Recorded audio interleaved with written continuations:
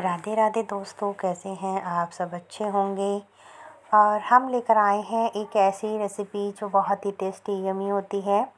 और तीस त्योहारों पे इसे बनाने में और भी मज़ा आता है, क्योंकि इसका टेस्ट इसका जो यमी यमी मतलब कहते हैं ना कि देख कर के ही मुँह में पानी आ जाता है। और मुझे लगता है कि हर किसी की पसंद की चीज़ है ये रेसिपी है ये। और हम बनाने जा रहे हैं आज सूजी का पेठा और ये बिल्कुल रस मलाई जैसी लगती है तो उसके लिए सबसे पहले हमने ली है सूजी और सूजी को हमने हल्का हल्का सा भूनने के बाद बिल्कुल लाल नहीं करना, सिर्फ़ भुना है और उसमें थोड़ा सा हम डालेंगे दूध हिसाब से।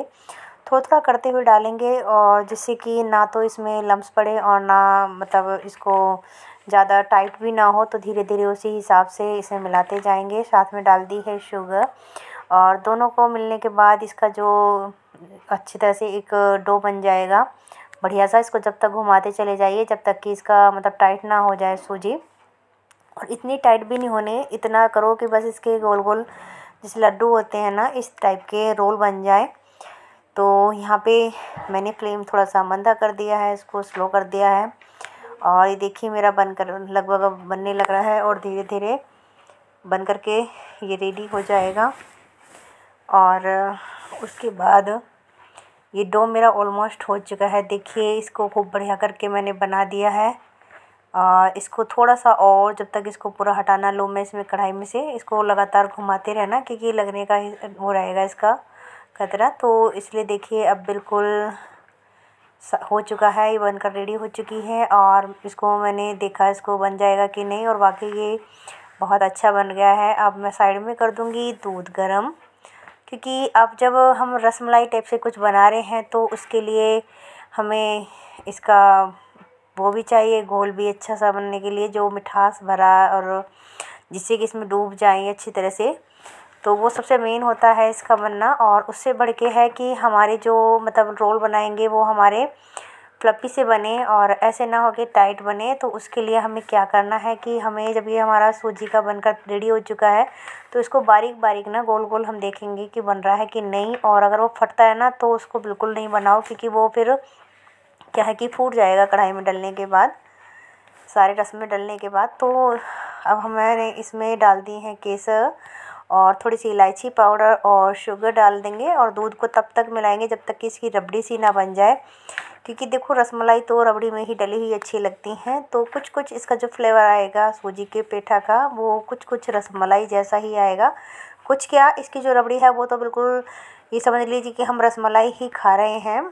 तो इसकी जो जान है वो ये रबड़ी ही है, रसमलाई की। तो देखिए, यहाँ मेरा डो तैयार हो चुका है और इसमें मैं बारीक बारीक से रोल बना दूँगी। पहले मैंने सोचा कि चलो थोड़ा सा वैसे कर देती हूँ सिलेंड्रिकल में, लेकिन फिर मैंने सर्कल में ही कर दिया और उसको हल्का सा जैसे फटे ना इसको राउंड राउंड में घुमाती चली गई। मुझे घी की ज़रूरत नहीं पड़ रही है इसमें। पर यह है कि अगर किसी का टाइट बनता है तो आप लोग घी यूज़ कर सकते हैं, अदरवाइज़ स्किप कर सकते हैं। तो ये मैंने बना लिए हैं थोड़े से इसके रोल बना करके मैं साइड में रख दूँगी, क्योंकि इसमें ही ध्यान रखना है कि ये फटे ना।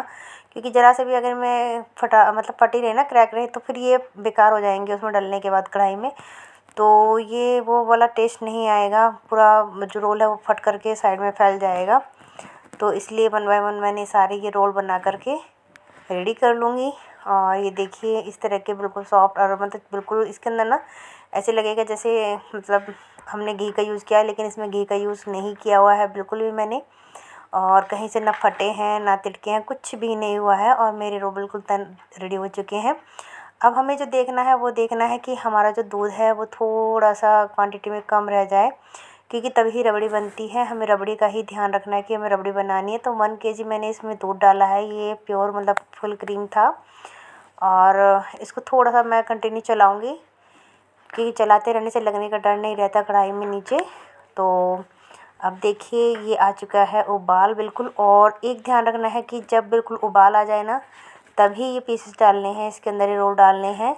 क्योंकि ठंडे दूध में डालोगे तो ये बेकार हो जाएँगे, नीचे बैठ जाएँगे। लेकिन उबलते दूध में बिल्कुल उबला खोलता रहेगा, तभी हमें ये डालने हैं। तो उसमें बस एक चीज़ का ध्यान रखना कि अगर ये थोड़ी देर में इनको छेड़ना नहीं ज़्यादा, क्योंकि ये ऊपर आ गए तो समझो कि हमारे जो सूजी पेठा रसमलाई है, वो बनकर रेडी हो चुकी हैं। लेकिन अगर वो ऊपर उठ कर नहीं आती हैं पाँच मिनट में तो समझो कि आपकी जो रसमलाई पेठा है, वो ख़राब हो चुकी हैं। तो अब देखते हैं कि हमारी आती है कि नहीं आती है। और ये मेरे सारे डिप हो चुके हैं लगभग तो मेरी मात्रा में ज़्यादा बन गए थे। पर यह है कि उनके अंदर रस चला जाता है, ऐसी बात नहीं है। और कई बार ऐसा होता है कि आप बेकिंग पाउडर भी डाल सकते हैं इसके अंदर। ये दो तीन चीज़ों का ध्यान रखना है। आप जो सूजी का पेठा बनाते हैं तो ये थोड़ा सा मैं हल्का हल्का चलाऊँगी ताकि वो बीच में आ जाए स्पेस में।